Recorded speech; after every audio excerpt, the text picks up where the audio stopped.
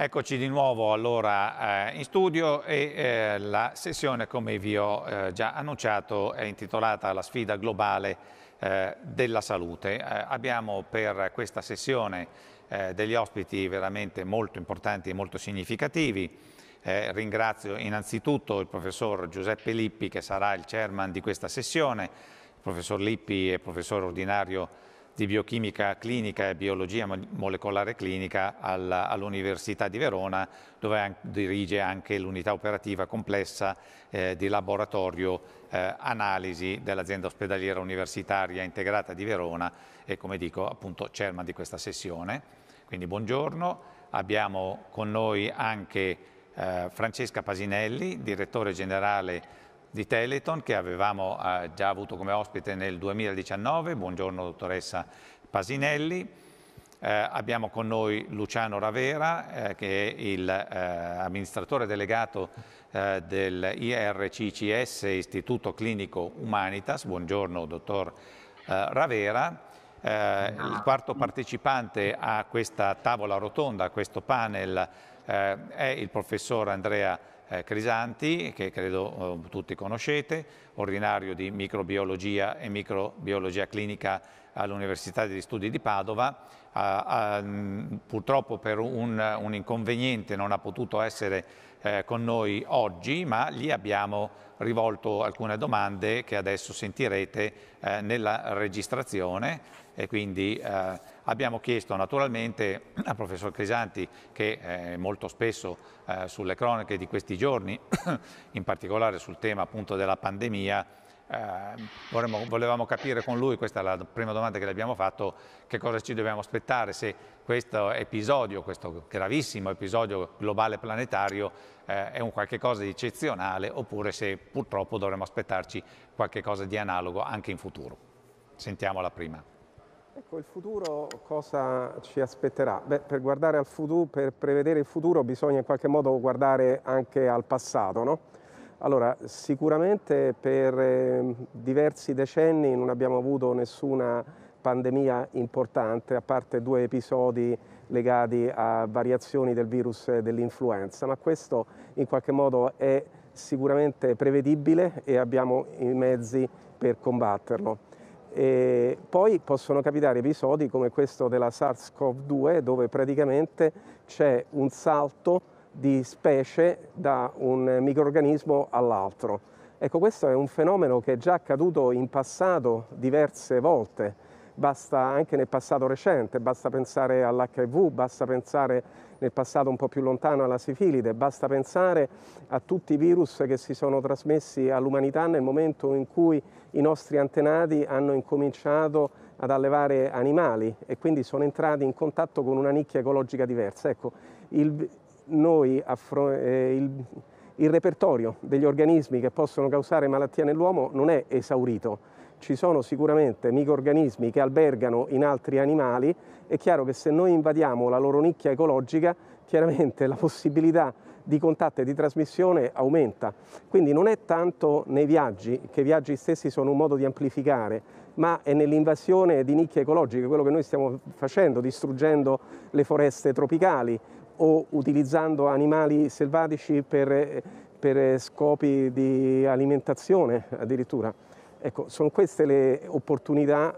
a cui praticamente determinati organismi fanno il salto di specie.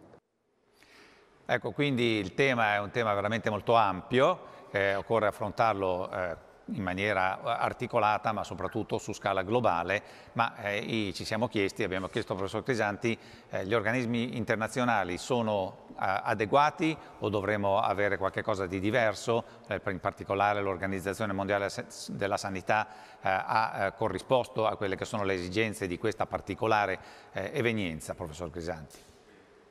Per il futuro, per evitare questo, eh, bisognerebbe costruire dei sistemi di allerta che in qualche modo sono in grado di verificare tempestivamente se ci sono delle malattie che non possono essere ricondotte a agenti già noti. E poi si pone il problema, una volta segnalato, chi è che lo deve gestire? Ecco, sicuramente io penso che l'OMS non è stata all'altezza della situazione non è stata all'altezza della situazione, secondo me fondamentalmente per due motivi, uno strutturale e uno politico. Uno strutturale nel senso che l'OMS è diventata un'organizzazione gigantesca, estremamente burocratica e molto distaccata dal campo. Uno politico che è un'organizzazione che è influenzata da, in maniera mh, sproporzionata da donatori esterni che hanno un'agenda politica eh, che possono essere case farmaceutiche, donatori privati o anche stati. Il fatto che eh, l'Organizzazione Mondiale della Sanità, per esempio, non includa Taiwan è l'esempio della inadeguatezza di questa struttura, perché se si chiama Organizzazione Mondiale della Sanità dovrebbe includere tutti indipendentemente dalle relazioni politiche che diversi stati hanno tra loro. Ecco, questo secondo me già questa stortura è emblematica e sicuramente ha avuto un impatto su questa epidemia, perché gli allarmi lanciati da Taiwan sono stati completamente ignorati per il semplice fatto che non apparteneva all'OMS perché c'era un veto su Taiwan. Ecco, questa non è l'Organizzazione Mondiale della Sanità che noi vogliamo per il futuro. Certamente non la vogliamo noi come cittadini, vorremmo qualcosa di estremamente più efficace per eh, riuscire a, evitare o a contenere come minimo gli effetti di pandemie globali di questo genere. Ma insomma l'ultimo appunto che abbiamo chiesto al professor Crisanti di fare è insomma, adesso come ne usciremo. Ci sono due, due approcci per uscire da questa pandemia. Uno è un approccio, chiamiamolo così, tradizionale di contrasto delle catene di trasmissione sul, sul campo e ci sono diversi stati che ne sono usciti utilizzando questo approccio. Eh, per non parlare della Cina si può sicuramente citare il Vietnam, lo stesso Taiwan, il Giappone, la Nuova Zelanda e la stessa Australia che hanno combinato misure di distanziamento sociale, quindi di lockdown molto restrittive, con misure estremamente incisive per bloccare la trasmissione sul territorio, che si basano fondamentalmente sulla tracciabilità e, e sull'utilizzo dei tamponi per identificare gli asintomatici. Io penso, ecco, quello che poi non abbiamo fatto noi in Italia perché ci siamo cullati sul fatto che praticamente l'epidemia era finita e non si sarebbe ripresentata una seconda ondata. Bene, allora ringraziamo il professor Crisanti per queste eh, informazioni che ci ha dato e ci dispiace ovviamente di non averlo qui nel dibattito eh, dal vivo, eh, ma appunto abbiamo degli ospiti di eh, altissimo livello, quindi io do assolutamente la parola eh, al, al, chairman di questa sessione, professor Lippi. Prego, professore. Grazie dottor Sasson per la gentile presentazione. Ringrazio anche il mio magnifico rettore, professor Pierfrancesco Nocini, che ha impossibilitato a partecipare per impegni purtroppo personali, urgenti ed inderogabili, dal quale però ho ricevuto delega rappresentarlo e portare orgogliosamente i saluti del nostro Ateneo, così come testimoniato dal mio collegamento qui dal rettorato e dal vessillo del, dell'università alle mie spalle. Eh, devo premettere che il titolo che gli organizzatori hanno scelto per aprire questo meeting, la sfida globale della salute, è un tema ambizioso, oggi del tutto comprensibile e motivato, come testimoniato dalla drammatica progressione della pandemia da Covid-19. Prima di introdurre i relatori e lasciar loro la parola nella tavola rotonda, consentitemi però una breve riflessione sul tema. Covid-19 rappresenta oggi una sfida complessa, forse la più catastrofica che l'umanità ha dovuto affrontare dalla fine della Seconda Guerra Mondiale. Ad oggi i decessi ufficialmente stimati per Covid-19, secondo il sito della John Hopkins University, ammontano a 1,3 milioni, oltre 45 mila dei quali solo nel nostro paese. Secondo le stime del Ministero della Salute, sono oggi oltre 700.000 le persone positive al virus, 37.000 delle quali ricoverate in strutture ospedaliere, di cui il 10% in terapia intensiva. Se non si tratta di una sfida globale questa, Giusto a titolo informativo, un'analisi del Karlsruhe Institute of Technology, che ha censito circa 35.000 disastri naturali dai primi anni del Novecento ad oggi in tutto il mondo, ha stimato in 8 milioni le persone decedute negli ultimi 120 anni a causa di calamità naturali, escluse quindi guerre mondiali e conflitti nazionali o regionali. Cito solo alcune delle catastrofi più note e recenti. Il maremoto conseguente al terremoto originato dalle profondità dell'Oceano Indiano al largo della costa nord-occidentale di Sumatra, che ha causato oltre 230.000 morti nel dicembre del 2004. Il terremoto di Haiti, che ne ha causati oltre 220.000 nel gennaio del 2010. La coda lunga del disastro nucleare di Chernobyl, avvenuta la mattina del 26 aprile del 1986, responsabile di almeno 4.000 vittime secondo l'ONU, e così via. Si tratta di numeri ben lontani dalle calamità che l'uomo è in grado di causare direttamente, considerando ad esempio che la prima e la seconda guerra mondiale hanno causato circa 14,66 milioni di morti, che quasi un milione e mezzo di persone sono morte nella guerra del Vietnam e che la guerra siriana conta già almeno 600.000 vittime stimate tra civili e militari. A fianco di guerre e catastrofi naturali, quali terremoti, maremoti, eruzioni, uragani, inondazioni, valanghe, incendi e carestie, anche le malattie infettive hanno storicamente rappresentato vere e proprie tragedie per l'umanità. La famigerata influenza, nota come spagnola, pandemia che ha colpito l'umanità tra gli anni 1918 e 1919, causò circa 50 milioni di decessi, molti di più di quanti ne fece poi la cosiddetta asiatica tra il 1957 e il 1960, che provocò circa 2 milioni di morti. Esistono tuttavia altre pandemie in senso lato, meno appariscenti ma anche più devastanti. Le malattie cardiovascolari causano ogni anno quasi 18 milioni di decessi in tutto il mondo. Sono 10 milioni le persone che ogni anno perdono la vita per il cancro e non scordiamoci che la malnutrizione uccide oltre 3 milioni di bambini ogni anno secondo le stime dell'UNICEF. Non sono forse anche queste vere e proprie sfide globali alla salute? L'insegnamento che possiamo quindi trarre, prendendo spunto da questi esempi, è il ruolo fondamentale della prevenzione, perché in relazione a ciò che si attua per prevenire un evento, per mitigarne le conseguenze, l'esito sanitario, sociale ed anche economico può cambiare anche di molto. È quindi del tutto naturale domandarsi se sia possibile prevedere i terremoti e maremoti, se sia possibile prevedere gli eventi climatici estremi come alluvioni e siccità, se sia possibile costruire un mondo più sicuro, arrestando deforestazione e cementificazione, se sia possibile altresì evitare le pandemie o far sì che il mondo si trovi meno impreparato nel contenere o debellare un'infezione devastante come quella da Covid-19. Ed ancora, cosa si possa fare di più e meglio per rendere meno devastante l'impatto delle principali cause di morte per malattia. Quel che è certo, almeno dal mio osservatorio di medico e scienziato, è che disinvestire sulla ricerca scientifica sembra oggi una decisione poco accorta e ancor meno lungimirante. Ma di questo avremo agio di discutere ampiamente in seguito. È con questo spunto che apro la tavola rotonda, ringraziando i partecipanti che vi presento brevemente. La dottoressa Francesca Pasinelli è direttore generale Teleton, si è laureata in farmacia all'Università di Parma e si è quindi specializzata in farmacologia presso l'Università degli Studi di Milano.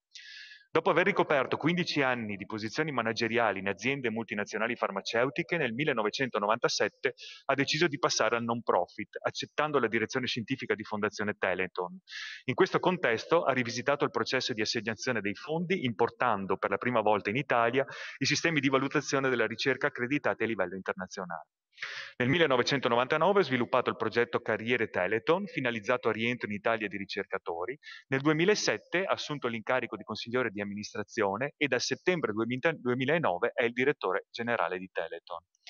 Il dottor Luciano Ravera è amministratore delegato degli RCCS, Istituto Clinico Humanitas, dal 2009. È entrato a far parte del gruppo Humanitas nel 1994, membro del consiglio di amministrazione di Humanitas dal 2006, ha ricoperto la carica di direttore generale di Humanitas Cavazzeni dal 1999 al 2002, direttore generale degli RCCS, Istituto Clinico Humanitas di Rozzano dal 2002 al 2005, dal 2005 al 2009 ha poi ricoperto la carica di amministratore delegato di Humanitas Mater Domini e direttore della pianificazione strategica e sviluppo aziendale del gruppo Humanitas SPA.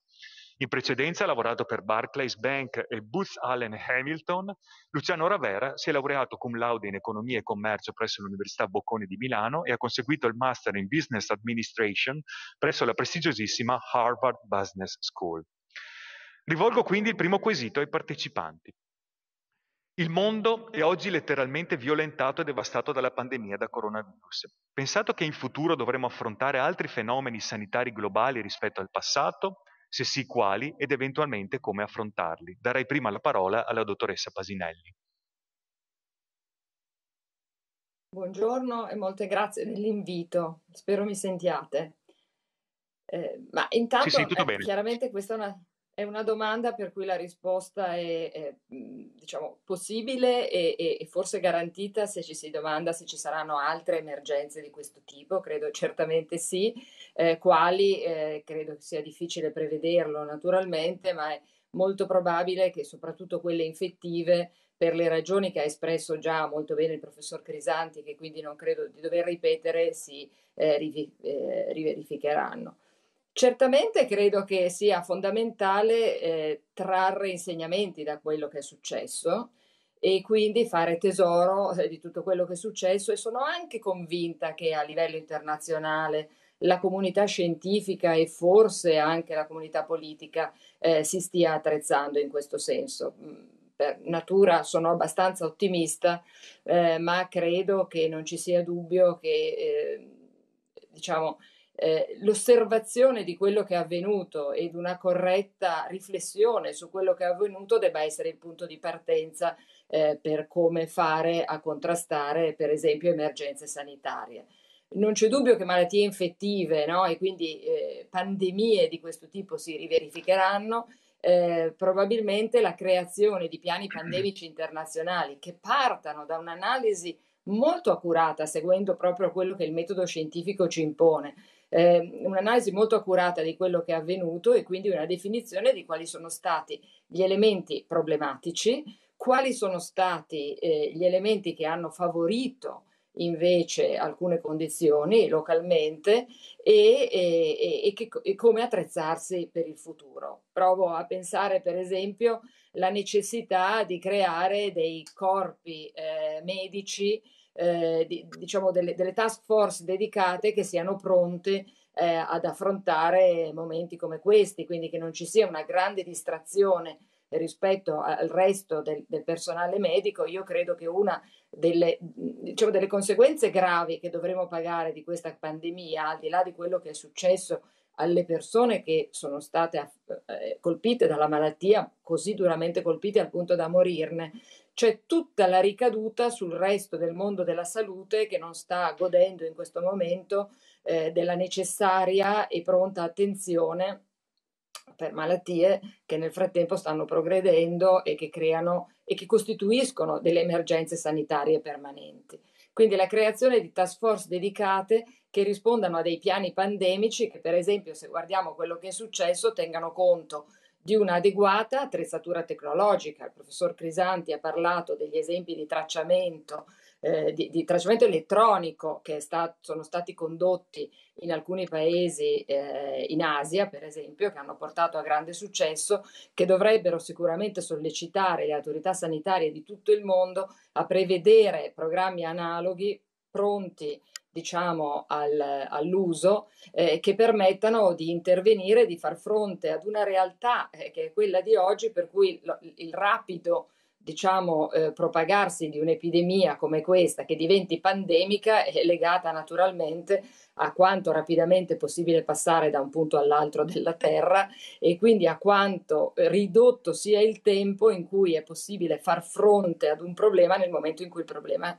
eh, viene individuato. Quindi sistemi di tracciamento elettronico saranno fondamentali eh, per poter affrontare emergenze future. E in questo, per esempio, affrontare temi legati a ehm, eh, diciamo, i problemi di privacy, che sono molto opportunamente ed adeguatamente de- gestiti, per esempio in Europa, ma che in un certo senso, eh, come dire, possono creare dei problemi rispetto ad una rapida attivazione di sistemi di tracciamento così mirati, quali quelli che è necessario avviare in un'emergenza di questo tipo. Poi un altro tema che è veramente molto importante è la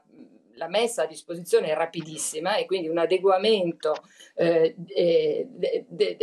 di tutti i centri medici de, dell'adeguata eh, equipaggiamento. Credo che noi abbiamo sofferto certamente in Italia, ma non solo in Italia, in giro per il mondo, al eh, fatto che gli ospedali non fossero eh, adeguatamente equipaggiati in termini di mascherine, eh, certamente di materiale per l'assistenza eh, respiratoria dei pazienti, nella quantità e nella eh, necessità urgente, ma, ma, anche solo le mascherine, le quali rappresentano una, una, un presidio fondamentale per la, la, il controllo dell'epidemia e che oggettivamente sono mancati e che invece andranno eh, opportunamente adeguati, con tutte le conseguenze del caso legate al fatto che quest'uso di, di, di mascherine starà sta per creare una nuova emergenza che è legata allo smaltimento delle stesse. Prima della pandemia il mondo era totalmente concentrato sui problemi di sostenibilità ambientali e quindi un ridotto uso, per, per esempio, della plastica, immediatamente stiamo arrivando ad immaginare che eh, la pandemia possa essere controllata attraverso invece un sistema che necessariamente andrà a comportare un ulteriore aggravio eh, all'ambiente. E poi la telemedicina. Pensiamo ai problemi gravissimi che abbiamo eh, sperimentato sul territorio in Italia, per cui l'affollamento degli ospedali o del pronto soccorso e la difficoltà a seguire e a monitorare pazienti che devono giustamente poter rimanere a casa per evitare un sovraffollamento degli ospedali, un sovraccarico e magari anche un peggioramento eh, del, del, del, della diffusione dell'infezione, eh, ma eh, chiaramente una, un'adeguata eh, attrezzatura in questo senso e uno stato diciamo eh, avanzato no, di, di, telemedicina sarà necessario ehm, eh, dovrà necessariamente essere messo a punto se vogliamo immaginare di affrontare delle nuove pandemie in condizioni eh, eh,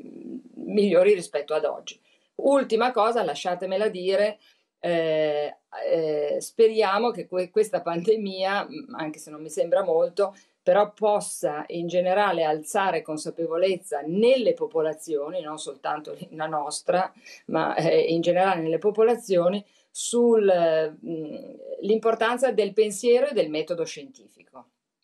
e quindi anche una maggiore fiducia eh, nei riguardi delle indicazioni che vengono dagli scienziati eh, circa i comportamenti da tenere in queste occasioni. Noi vediamo quanto il dibattito sia degenerato su delle posizioni politiche che hanno più, eh, come dire, somiglianza con il tifo calcistico eh, che non invece su posizioni che nascano dall'evidenza del dato. E questo invece eh, dovrà diventare un elemento portante anche perché è davanti agli occhi di tutti che se riusciremo a risolvere rapidamente eh, questa situazione, questa è stata grazie all'investimento, diciamo così, globale che è stato fatto in ricerca ad una messa in comune di una straordinaria quantità di dati che ha permesso, per esempio, così come sembra, la messa a punto di vaccini in tempi eccezionalmente rapidi rispetto al passato. Se pensiamo quando è stato individuato il virus per la prima volta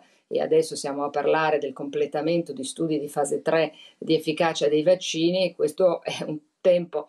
estremamente eh, rapido, mm, eccezionalmente rapido, eh, che, che naturalmente è il frutto di una task force internazionale di grandi quantità di denaro, ma sicuramente di una risposta rapida che dal mio punto di vista fa anche ben sperare per la possibilità di affrontare emergenze future.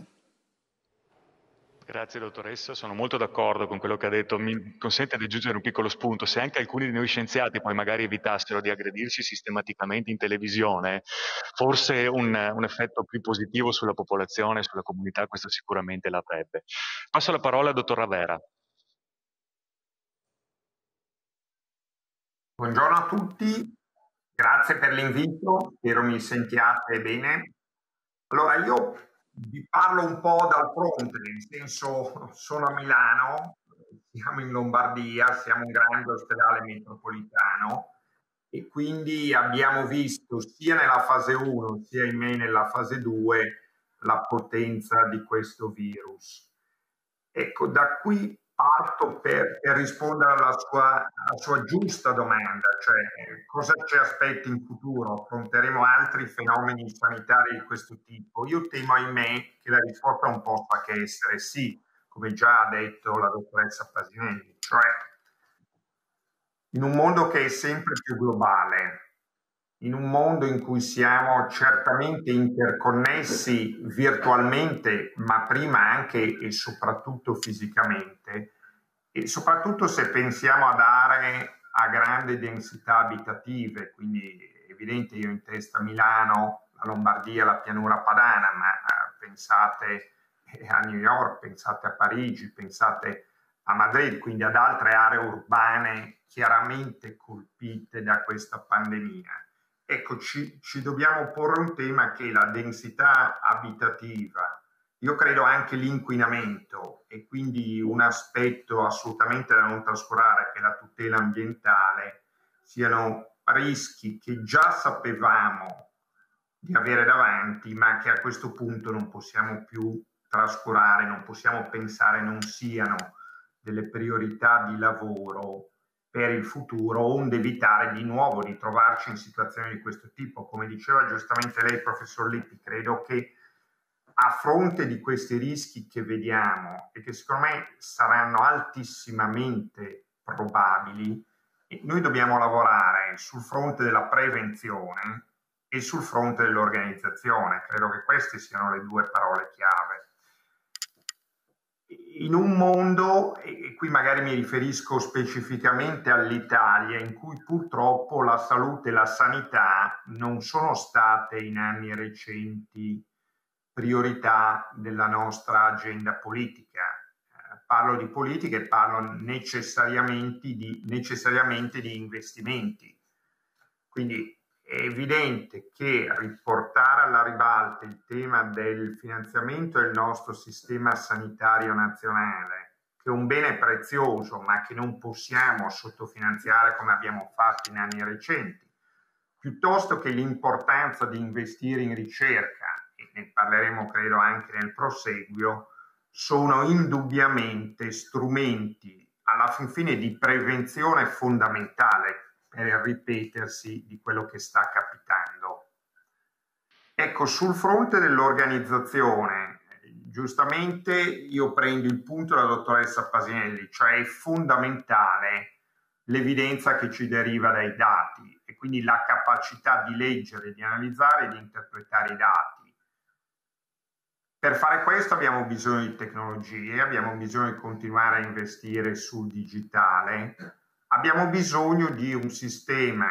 io credo, più organizzato e lo vediamo in termini di collegamento tra ospedali e territorio. E questo di nuovo si fa lavorando sull'organizzazione del sistema. Penso che un punto nodale sia la profonda connessione che dobbiamo mantenere e rinforzare tra i luoghi di cura e i, quindi luoghi di erogazione della cura, tipicamente gli ospedali, ma anche i medici del territorio, anche i centri diagnostici e l'attività di ricerca e di sapere. Ecco, per questo che, se mi consentite, faccio un riferimento a Humanitas, cioè luoghi di commissione di sapere in cui noi uniamo la ricerca, la formazione e la clinica, sono e saranno sempre più fondamentali per il mondo civile, per il mondo organizzato, cioè abbiamo bisogno di garantirci sanità di avanguardia collegata a formazione di avanguardia e a ricerca di avanguardia. Abbiamo bisogno che sempre di più noi abbiamo medici, ingegneri, biologi che lavorano davvero insieme, abbiamo bisogno di un pubblico e di un privato che collaborano e non siano antagonisti. Ecco, non sempre questo ovviamente capita, non sempre è capitato in questi mesi. Se posso ancora in, questa, in questo primo intervento introduttivo, cioè fare un punto specifico che vuole riguardare la cura da offrire ai pazienti, cioè noi dobbiamo essere sicuri di offrire cure di qualità e per farlo di nuovo c'è un altissimo bisogno di organizzazione, cioè credo che questo sia quello che tuttora stia mancando nel nostro sistema, organizzazione a livello centrale, organizzazione a livello regionale, organizzazione a livello locale. Solo se questo capita, noi saremo in grado di dare alle future pandemie una risposta più importante. Ecco, vi faccio questo esempio. Lo scorso marzo, quindi eravamo ancora all'inizio della fase 1, un nostro primario, che è il presidente della Società Europea di Terapia Intensiva, ha organizzato un webinar aperto evidentemente a tutti i medici intensivisti a livello mondiale, per fare un primo confronto su cosa era il Covid, come lo si affrontava, cosa si stava facendo in Italia. Ricordatevi che allora, ahimè, eravamo uno degli avamposti di, eh, di questa pandemia? Ecco, abbiamo avuto una risposta incredibile, cioè eh, si sono collegate 150.000 persone per sette ore. Ecco, questo dice quanto il mondo della ricerca, della scienza e la connessione, qui sì che abbiamo un vantaggio a parlare di globalizzazione, possano aiutare nel trasferimento di best practice, nel trasferimento di know-how e questo è fondamentale. Ecco, abbiamo bisogno però di infrastrutture politiche, tecnologiche ed economiche che aiutino il mondo della scienza a far sì che la scienza cali nella realtà e che vuol dire alla cura dei pazienti nel quotidiano. Grazie. Grazie. Passerei adesso alla seconda domanda. Quale pensate sia il ruolo della medicina personalizzata e di precisione nel futuro della medicina e delle sfide sempre più impegnative che l'umanità dovrà affrontare? Riprenderei il giro dal dottor Raver. Eh beh, eh, questa è un'altra, un'altra bellissima domanda ed è uno dei grandi temi aperti, io penso, della medicina moderna. Cioè noi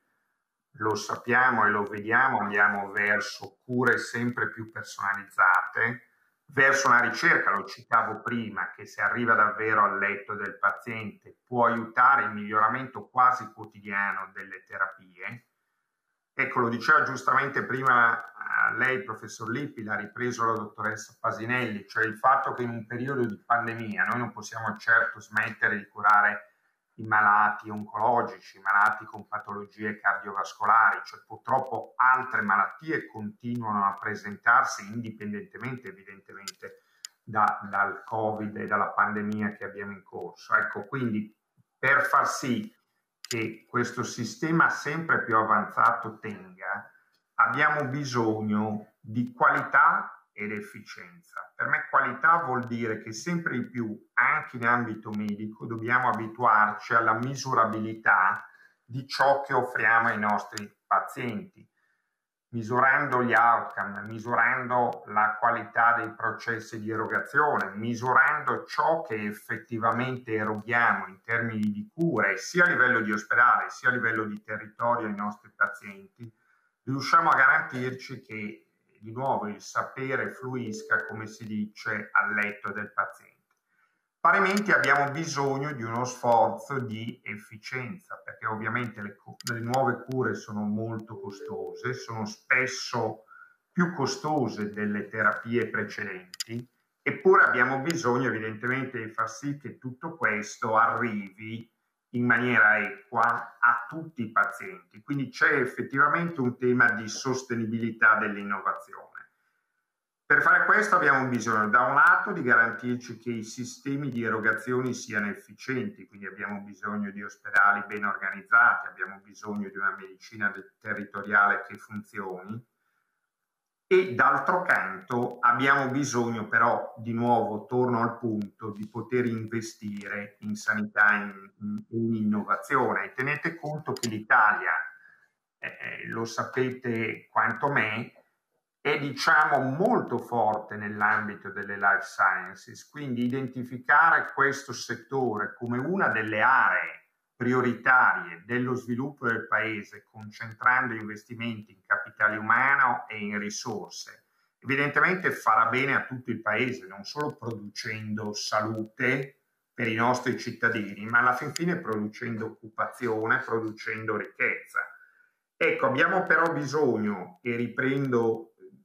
due punti che avevo appena toccato precedentemente, abbiamo bisogno di commistione dei saperi, quindi abbiamo bisogno di tenere legate professionalità diverse. Sempre di più un medico ha bisogno di sapere che cos'è l'informatica, ha bisogno di sapere che cos'è l'ingegneria, ha bisogno di sapere che cos'è la biologia molecolare, quindi dobbiamo lavorare sui nostri sistemi di educazione e di formazione. Quindi c'è un tema importante di formazione e l'altro punto fondamentale è che dobbiamo sfruttare tutti coloro che possono contribuire a creare valore e quindi possono essere sistemi pubblici e possono essere sistemi privati. Possiamo parlare del big pharma e possiamo parlare del settore medtech, possiamo parlare di start-up innovative in ambito biotecnologico, possiamo parlare di università e di ospedali. Ecco, è importante che questo tema sia assolutamente presente a livello in questo caso italiano, ma direi ancora di più europeo. E mi pare che l'Europa stia dando dimostrazione di attenzione al tema. Abbiamo bisogno che effettivamente il tema del recovery fund, il tema del continuare a investire in ricerca clinica, quindi ricerca vicino alla salute del paziente, possa proseguire negli anni a venire a livello europeo. Grazie, dottoressa Pasinelli. La, med- la, medicina personalizzata eh, che è nata parecchi anni fa, diciamo come tema che eh, si diciamo, eh,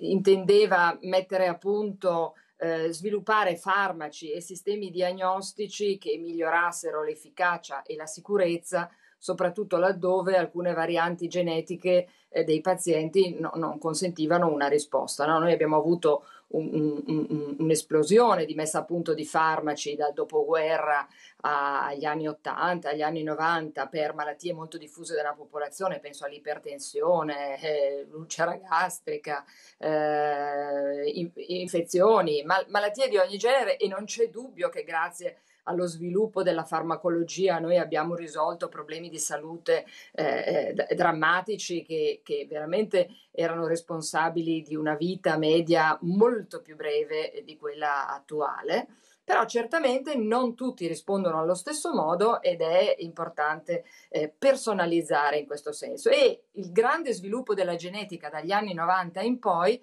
ha permesso molto bene di andare ad individuare varianti genetiche all'interno eh, de, de, de, delle persone eh, che permettessero anche di dare ragione di una diversa risposta ai farmaci e quindi anche decidere eh, se e quando somministrare un certo farmaco ai pazienti. Questo poi ha avuto un enorme sviluppo in anni più recenti, quando si va a guardare per esempio le terapie oncologiche, dove si va a vedere quale tipo di cancro, quale tipo di tumore può rispondere ad una terapia o altra e questo sta di fatto ormai nella routine clinica mettendo nelle condizioni il, medico di decidere se somministrare una certa terapia ad un paziente sulla base dell'analisi genetica del tumore stesso. Ebbene, questa terapia personalizzata è quella che in questo momento sta anche permettendo di mettere a punto dei diagnostici per il Covid, per esempio, perché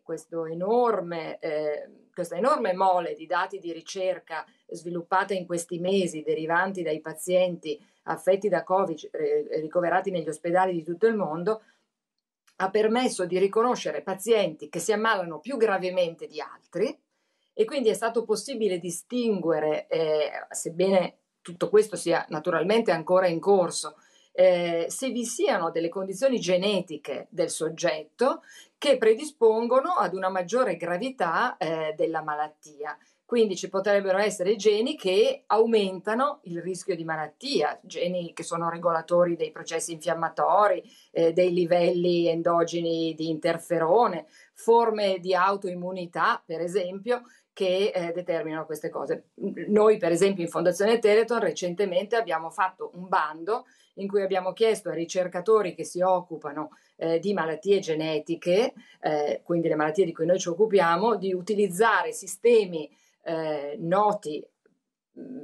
all'interno di una certa malattia per comprendere quanto questi sistemi o queste varianti genetiche possano eh, compromettere, facilitare o meno insomma, la, la, l'azione del virus nelle cellule del paziente. E, e, e questo mi sento di sottolinearlo in modo molto importante perché questa non è altro che la dimostrazione della trasversalità delle conoscenze in ambito di ricerca. Allora, la terapia più personalizzata, no? quella con cui noi, diciamo, in Fondazione Teleton da anni lavoriamo, terapie geniche che vogliono curare un difetto genetico di malattie molto rare di un singolo paziente che viene effettuata sulle cellule stesse del paziente, quindi sono le cellule modificate del paziente che diventano la terapia esso stessa costituisce la base su cui stanno venendo sviluppati alcuni dei vaccini che sono in corso di sviluppo. Questo per dire, è già stato anticipato molto bene eh, sia dal professor Lippi che dal dottor Ravera, ma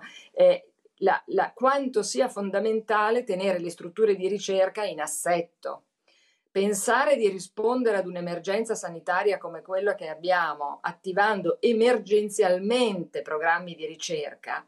è, è, è come minimo ingenuo. È possibile rispondere in emergenza con dei programmi di ricerca laddove ci sia una macchina perfettamente pronta per partire, dove serva un poco di benzina in più, ma la macchina sia perfettamente in assetto. E questo è un richiamo fondamentale a tenere permanentemente in, in, in funzione, correttamente alimentati e manutenuti, eh, laboratori, programmi di ricerca, finanziamenti continuativi che guardino costantemente agli avanzamenti della ricerca a livello internazionale e quindi adeguino anche non solo a strumentazione, apparecchiature e tutto, ma anche competenze. Pensiamo quanto è importante in questa fase il ruolo integrato di virologi, infettivologi, epidemiologi che noi, come dire, nei nostri talk show vengono intervistati indifferentemente come se potessero rispondere a qualunque domanda. In realtà il, il, il, il, ruolo integrato e la funzione di tutte queste persone, compreso bioinformatici, ma che no, immunologi, biologi cellulari, è fondamentale. Ecco, noi pensiamo che quando, quando eh, cioè noi all'inizio di quest'anno, non so adesso come funziona la situazione, ma non avevamo laboratori universitari che non fossero laboratori di diagnostica qualificati per poter manipolare virus nel nostro paese. Allora è evidente che tutto questo, eh, cioè poter rispondere a queste emergenze, parlo non della sanità, dove questo vale forse eh, mille volte di più, ma in termini di ricerca, o la macchina c'è ed è costantemente manutenuta e quindi può essere chiamata a reagire ad una corsa più impegnativa di tutte le altre fatte prima, ma perché basta solo un po' di benzina e magari qualche controllo in più, ma se la macchina non c'è non è immaginabile eh, la, la, preparazione in, in emergenza. Verrebbe da chiedersi se quindi questo è servito come lezione o se invece verrà perso nella, nella nebbia del futuro. Eh, speriamo, io penso che la lezione qui, eh, diciamo, il, come dicevo all'inizio, il modo per uscire da qui è, è, o, o, come rispondere a, a, tutto quanto succederà in futuro è veramente osservare con attenzione quello che è successo, trarne i dati importanti e poi, e poi decidere come proseguire. Io non conosco niente di sanità, per esempio, non sono un'esperta di sanità, ma immagino che valga la pena di studiare a fondo che cosa è successo in Germania, per cui per esempio fra tutti i paesi europei che avevano le stesse condizioni di densità abitativa, di forse inquinamento, forse insomma di, di, di scambi con l'estero e così perché i, i, livelli di mortalità siano più bassi. Forse se eh, chi eh, si occupa della programmazione sanitaria da noi studiasse a fondo quel dato, come, come, si dice tipicamente, quello potrebbe essere un benchmark almeno da cui partire per decidere come attrezzare in futuro il resto. Lo stesso si può dire per l'attivazione di strutture di ricerca eh, competitive internazionalmente in grado di reagire all'emergenza in questo modo. Sì, è un po' difficile essere ottimisti perché mh, colgo l'occasione per riportare un dato oggettivo. Eh, quando alla fine della prima ondata tutti dicevamo guardate che arriva la seconda, ma ripeto non è che eravamo dei pazzi visionari, semplicemente conoscevamo la biologia, bastava guardare indietro a quello che era successo nell'epidemia del 1918-19 della spagnola per immaginarsi quello che sarebbe poi successo a settembre-ottobre, quello che stiamo vivendo oggi. Eh, quest'estate abbiamo vissuto un liberi tutti eh, e questo, devo dire la verità, eh, non è responsabilità degli scienziati, scienziati è responsabilità di chi prende delle decisioni sulla politica sanitaria che molto probabilmente magari ogni tanto gli scienziati dovrebbe ascoltarli un po' di più. Eh, e quindi prendo spunto proprio da questa considerazione per farvi la terza domanda. Secondo i dati di World Bank, l'investimento di ricerca nel mondo è salito dall'1,97 del PIL, 1,97% scusate, del PIL nel 96 al 2,27 del 2019. L'Italia si assesta ben sotto la media mondiale, attorno all'1,4% del PIL, che è una quota abbastanza desolante se confrontata ad esempio a quella della Germania che spende in ricerca il 3,1% del PIL, ma anche ben più bassa del 2,2% della Francia, dell'1,7% del Regno Unito o addirittura di un piccolo paese come la Slovenia che spende in ricerca quasi il 2% del PIL. Alla luce di questi dati, secondo voi quale sarà il futuro della ricerca nel mondo e soprattutto nel nostro paese? Vale ancora la pena in un paese con risorse già limitate in era pre-Covid incoraggiare i nostri giovani a dedicarsi attivamente alla ricerca correndo il rischio di far loro perdere anni e anni in precariato e disoccupazione? Dottoressa? Beh, insomma, questa, eh, dovessi rispondere con una parola su, su, semplice sul vale la pena, secondo me deve valere la pena, ma naturalmente sto parlando da persona che ha una estrema fiducia e convinzione ehm, del fatto che verranno dall'innovazione i grandi miglioramenti eh, in termini di salute, ma non solo per l'umanità. E quindi credo che eh, si debbano incoraggiare i giovani eh, quanto più possibile a seguire ehm, carriere eh, che, che, si rivolgano alla ricerca scientifica. Ehm, circa il bassissimo investimento del nostro paese eh, in ricerca scientifica, eh, non c'è dubbio, è una cosa che lamentiamo sempre. Io però aggiungerei a questo un tema proprio culturale generale, eh, per cui alla, al basso investimento corrisponde anche una, mh, diciamo, eh, scadente allocazione delle risorse che ci sono e quindi credo che eh, questo sia un altro degli elementi di cui tenere conto. Io sono poco fiduciosa che eh, allo stato attuale eh, della situazione, quindi per come vengono distribuiti i denari in ricerca scientifica e vengano, e vengono diciamo, sviluppate strategie di investimento in ricerca, un aumento dei fondi disponibili non migliorerebbe significativamente la situazione perché manca in realtà tutto un assetto generale che ha a che vedere con la messa a punto della macchina, come dicevo prima, no? vale a dire dei tavoli eh, permanenti di advice alla politica su quali siano le aree dove vale la pena di investire. Mi spiego meglio, deve essere una decisione della politica quella di scegliere se investire maggiormente in scienze della vita o in uh, fisica nucleare o, o in temi no, all'ecologia, non lo so, è chiaro che devono essere delle scelte politiche. Come però all'interno di una scelta di questo tipo poi erogare degli, dei finanziamenti e quindi andare a vedere, mappare con precisione quali sono le aree in Italia che meritano maggiore investimento, eh, quali sono le nostre lacune, quindi se vogliamo essere competitivi in un settore, eh, quali competenze dobbiamo aggiungere, come dobbiamo adeguare la macchina dei reclutamenti dell'università, per esempio, alle nuove eh, competenze, alle nuove tecnologie che vi sono. Dobbiamo andare con dei criteri di reclutamento di competenze che erano diciamo molto forti anni fa o dobbiamo aprirci alle nuove tecnologie e quindi necessariamente dobbiamo essere in grado no, di, di, di aggiungere tutte queste scelte, quindi il fatto che non ci sia un tavolo permanente di ehm,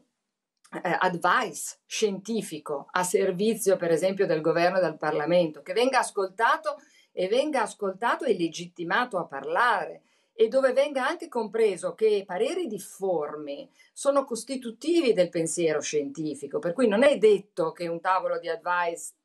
indichi la verità rivelata, ma messi nella condizione di confrontarsi fra colleghi e sulla base di dati ed evidenze, quindi di numeri circa l'andamento della ricerca nel paese, possano esprimere indicazioni che poi una volta espresse come indicazioni frutto di un consenso dovrebbero poi essere anche raccontate univocamente, non con l'imbarazzante spettacolo a cui assistiamo in questo periodo, per cui ogni appartenente al tavolo scientifico poi dice la sua, no? Ma questi sistemi permanentemente in funzione sono quelli che permettono ad un paese di operare delle scelte informate, eh, a partire da un pensiero politico ben definito, ma delle scelte informate in ambito eh, di investimento scientifico che garantiscano sulla migliore, non sulla perfetta, perché non esiste niente di perfetto, ma sulla migliore allocazione delle risorse. Uno dei temi importanti del nostro paese, secondo me, qui dico una cosa che non è sempre molto gradita, ma per esempio è la competenza regionale degli investimenti in ricerca.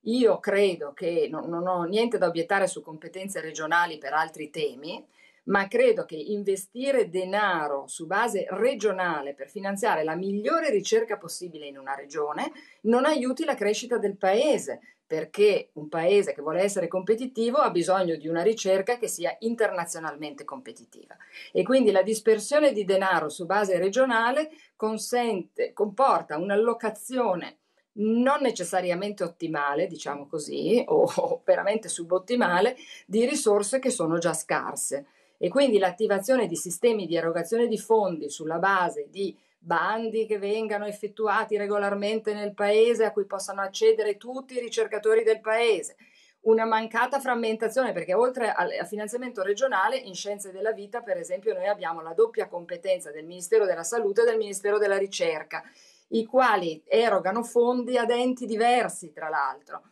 e quindi non permettano la migliore allocazione del denaro secondo un criterio di coerenza e eh, come dire, di visione strategica generale dei già scarsi fondi che vengono allocati in scienza della vita. Quindi credo che tutto questo e anche quello che è successo dovrebbe servire a due cose. Una, certamente far riconoscere l'importanza eh, di una macchina della ricerca che deve essere opportunamente manutenuta, oliata e funzionante, eh, e, e, e nell'opportunamente manutenuto, oliato e funzionante sta l'adeguata remunerazione dello scienziato e, i giusti percorsi di ricerca, perché la sua domanda è, dice, lo incoraggerebbe. Io credo che non ci sia dubbio che in Italia si stia creando un, una situazione per cui classe medica, classe di ricercatori e, e anche insegnanti stanno diventando e che sono un gruppo molto strategico di lavoratori che veramente contribuiscono tutti al benessere e al futuro di questo paese, sono fra le categorie peggio pagate nel nostro paese, eh, sotto tutti gli standard internazionali dei paesi a cui noi ci vogliamo confrontare. Questo credo sia un tema gravissimo, gravissimo. Eh, mh, ecco, quindi quando ci si lamenta della quantità di denaro, io credo che si debba prima fare una riflessione molto importante sulla governance del sistema. Grazie. Dottora Vera? Sono assolutamente d'accordo con tutto quanto ha detto bene la dottoressa Pasinelli sul tema. Cioè io credo che eh,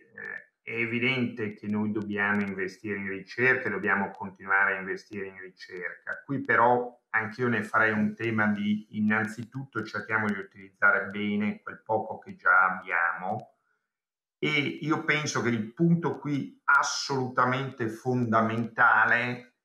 è il richiamo all'internazionalità, cioè che non dobbiamo perderci in localismi, ma al contrario dobbiamo tenere la barra alta per confrontarci con ciò che capita nel resto del mondo. Cioè qui io credo che eh, l'Europa in questo caso possa essere anche stimolata dalla pandemia, volendo almeno avere un po' di raggio di luce, di ottimismo, possa essere una locomotiva che potrebbe trainare negli anni a venire. È chiaro che però abbiamo bisogno come paese di rimanere profondamente agganciati a quella locomotiva, dobbiamo cercare davvero di mutuare alle best practice europee per essere sicuri che la ricerca italiana esca da molti di quei difetti, da quei localismi che diceva giustamente la dottoressa Pasinelli. Ecco, eh, vi, vi, faccio un, un, esempio, secondo me, eclatante di che cosa si potrebbe fare e solo in parte riusciamo a fare. Cioè, eh, anche qui ricollegandomi a un tema toccato precedentemente. Proprio la notizia di ieri, il professor Mantovani, che è il nostro direttore scientifico, in questo caso insieme ai clinici dell'ospedale, ha, uh,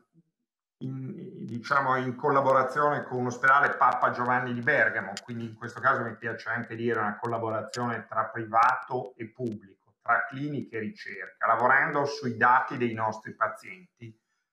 ha messo a disposizione della clinica un nuovo test che effettivamente, basato su una proteina PTX3, che ci permetterà di eh, prevedere, quindi potrebbe avere un valore prognostico importante sulla gravità dell'evoluzione del Covid. Come l'abbiamo fatto? L'abbiamo fatto lavorando insieme clinici e ricercatori di Humanitas e del Papa Giovanni e ci siamo riusciti anche e soprattutto utilizzando bioinformatica e intelligenza artificiale. Abbiamo anche potuto, grazie all'intelligenza artificiale a un paio di nostri informatici, lavorare su banche dati israeliane e americane. E tutto è stato fatto con risorse relativamente limitate. Quindi questo per dire che laddove abbiamo competenze di avanguardia che dobbiamo, lo risottolineo, continuare a coltivare, quindi il sistema universitario è fondamentale. L'Italia da questo punto di vista nell'ambito delle scienze della vita è tuttora ben posizionata, ma non può abbassare la guardia, non può perdere di qualità. Quindi dicevo, abbiamo le competenze, un investimento mirato in tecnologie, in digitale, in intelligenza artificiale applicata alle scienze della vita, può permetterci di fare passi avanti fondamentali. Di nuovo però è importante che noi identifichiamo il settore come uno degli assi trainanti del paese e che da questo punto di vista siamo davvero capaci di rimanere attaccati all'Europa. Eh, e è vero però, e questa è una parte complessa eh, dell'equazione, quando la dottoressa Pasinelli prima diceva dovremmo studiare il caso tedesco, è giusto, è vero, cioè la Germania credo sia l'unico paese europeo che ha fatto particolarmente bene a livello di eh, Covid e di come ha affrontato il Covid.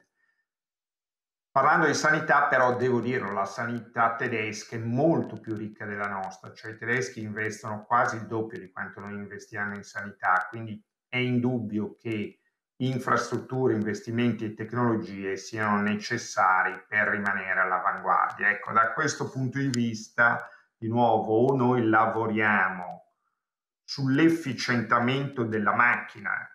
Pasinelli diceva la macchina della ricerca, ma io aggiungo anche la macchina della sanità, cioè tutto ciò che è organizzazione del Servizio Sanitario Nazionale, altrimenti, ahimè, con le risorse già scarse di cui disponiamo, diventa ancora più difficile affrontare il futuro. Questo se la guardiamo in termini, mi faccia dire, pessimistici.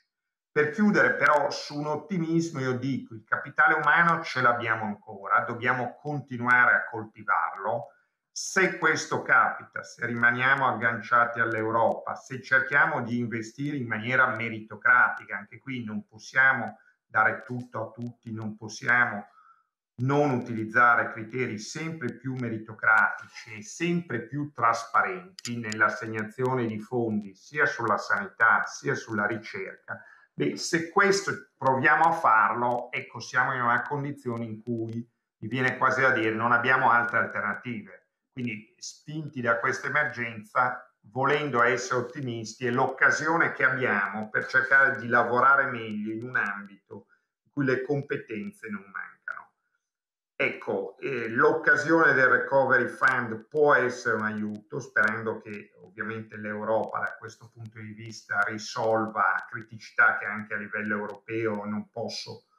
non dire che permangono, però se questo capita è un'occasione, se il Paese davvero decide di pensare che le scienze della vita, quindi la salute, il mondo farmaceutico, tutto ciò che si collega attorno, sono uno degli assi attraverso cui può ripartire lo sviluppo del Paese, beh, questa è in qualche modo almeno la speranza che dobbiamo mantenere per far sì che il Paese esca eh, con una speranza da questa pandemia che ci ha investito. Grazie poi eh, si aprirà comunque dopo tutto un dibattito sulla necessità di cambiare anche alcuni criteri con cui vengono assegnati i fondi di ricerca, perché faccio un esempio banale, uno degli elementi determinanti che ha un peso fondamentale è il curriculum del principal investigator ed è un po' il cane che si mangia la coda, perché poi alla fine se il curriculum del principal investigator guida l'attribuzione dei fondi de- de- di ricerca è evidente che i fondi finiscono quasi sempre ed esclusivamente alle stesse persone, questa è una cosa che purtroppo percepiamo in maniera molto forte, soprattutto in determinate nicchie di ricerca pubblica dove i finanziamenti vanno sempre alle stesse persone. E di questo sicuramente un tavolo con, con gli organi competenti, con il governo, con il ministro, con il ministro dell'istruzione dovrebbe essere sicuramente, sicuramente aperto. Eh, mancano solamente 20 secondi alla fine di questa sessione, per cui io credo che eh, possiamo anche chiudere qui. Ringrazio sicuramente la dottoressa Pasinelli e il dottor Ravera per la partecipazione e passo la parola al dottor Sassone. Bene, grazie. Io credo che abbiamo eh, sentito delle cose di grande importanza perché non solamente sono state eh, molto precise e analitiche su quello che sta accadendo, ma anche molto propositive rispetto al futuro, un futuro in Italia, un futuro anche a livello internazionale e nel mondo. Quindi eh, ringrazio moltissimo il professor Lippi per aver condotto questa sessione, ringrazio la dottoressa Pasinelli, il dottor Ravera e naturalmente il professor eh, Crisanti. Un, una sola osservazione vorrei fare in funzione di quello che noi abbiamo sentito, anche perché è stato in qualche modo richiamato durante, durante questo dibattito, vale a dire abbiamo ascoltato delle opinioni estremamente informate, estremamente competenti. Ecco, questa parola è la nostra parolina magica, eh, per noi la competenza, il Festival del Futuro si basa su quelle che sono delle realtà di competenza per lanciare informazioni e anche prospettive nei confronti dei giovani, nei confronti di tutti, ma soprattutto nei confronti di una possibilità di fare per quanto riguarda il futuro. Eh, avrete notato che questo non è un talk show, questo è proprio un dibattito Stato in cui eh, i, eh, le persone hanno la possibilità di esprimere in maniera compiuta il proprio pensiero. Bene, questo è importantissimo e salta all'occhio evidentemente che nel nostro programma non ci sono molti eh, politici, questo non per alcun tipo di ostilità piuttosto che non di voler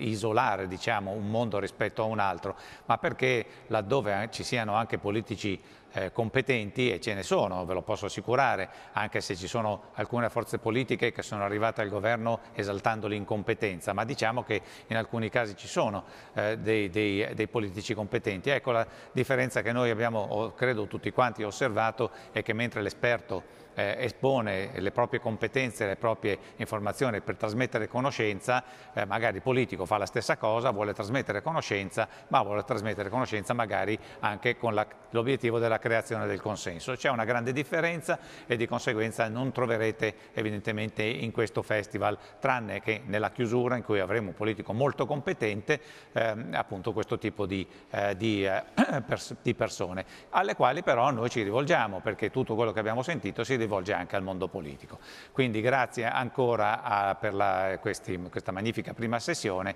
e eh, passiamo adesso ai successivi passaggi, quindi sigla.